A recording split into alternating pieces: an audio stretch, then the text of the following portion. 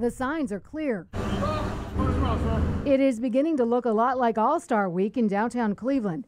Major League Baseball picked our city for its Midsummer Classic for the sixth time. The reason so many events keep coming back to Cleveland is not because we're a great city, which we are, but also because they leave feeling safe, secure, and successful. Roads are shut down, barricades are going up, and Cleveland police are beefing up their lineup with the help of local, state, and federal agencies.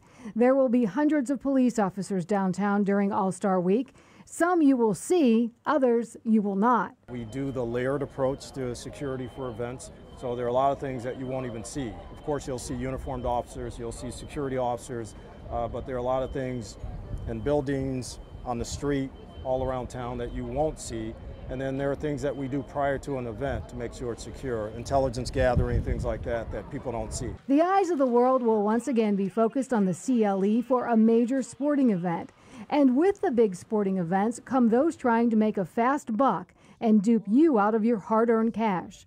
MLB will be cracking down on counterfeit merchandise. We're working undercover with law enforcement officials throughout Cleveland as well as on the federal level to address the counterfeiting issue. Cleveland police will be on bikes, on foot, and in the air to make sure the hundreds of thousands of fans who come downtown for All Star Week have an all star time. In Cleveland, Tracy Carlos, News 5.